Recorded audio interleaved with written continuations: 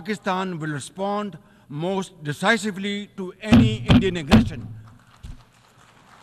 The people of Jammu and Kashmir too have struggled for a century for their freedom and right to self-determination. Instead of moving towards peace, India has resiled from its commitments to implement the Security Council resolutions on Jammu and Kashmir. These resolutions mandate a plebiscite to enable the people of Jammu and Kashmir to exercise their fundamental right to self-determination. Ladies and gentlemen, since the 5th of August 2019, India has initiated unilateral illegal steps to impose what its leaders ominously call a final solution for Jammu and Kashmir. Day in and day out, 900,000 Indian troops terrorized the people of occupied Jammu and Kashmir with draconian measures, including prolonged curfews, extrajudicial killings, and the abduction of thousands of young Kashmiris. At the same time, in a classic settler colonial project, India is seizing Kashmiri lands and properties and settling outsiders into occupied Jammu and Kashmir in their nefarious design to transform the Muslim majority into a minority. This hackneyed tactic is employed by all occupying powers, but it has always failed in Jammu and Kashmir too. It shall fail by the grace of God. Ladies and gentlemen,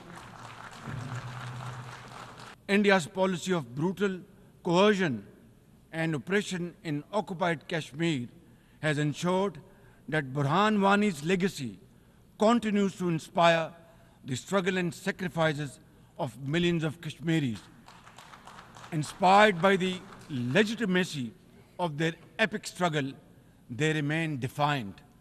Their heart-wrenching stories remind us that behind every statistic lies a human life, a dream deferred, and a hope shattered. Every more, even more worryingly, it is engaged in massive expansion of its military capabilities, which are essentially deployed against Pakistan. Its war doctrines envisage a surprise attack and a limited war under the nuclear overhang. Thoughtlessly, India has spurned Pakistan's proposals for a mutual strategic restraint regime. Its leadership has often threatened to cross the line of control and take over Azad Kashmir. Ladies and gentlemen, Mr. President, let me state in no uncertain terms that Pakistan will respond most decisively to any Indian aggression.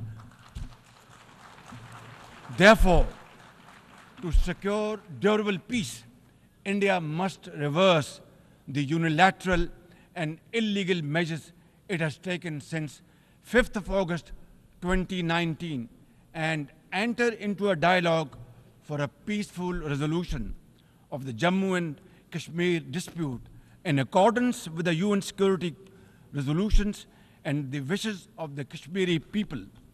Mr. President, remember, illegal occupation creates a fresh hell every day in the killing fields of Palestine and in the pristine valleys of occupied Jammu and Kashmir.